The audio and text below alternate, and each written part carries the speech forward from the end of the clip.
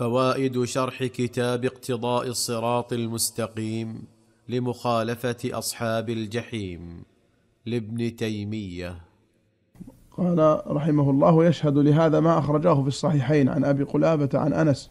قال لما كثر الناس ذكروا أن يعلموا وقت الصلاة بشيء يعرفونه فذكروا أن ينوروا نارا أو يضربوا ناقوسا فأمر بلال أن يشفع الأذان ويوتر الإقامة.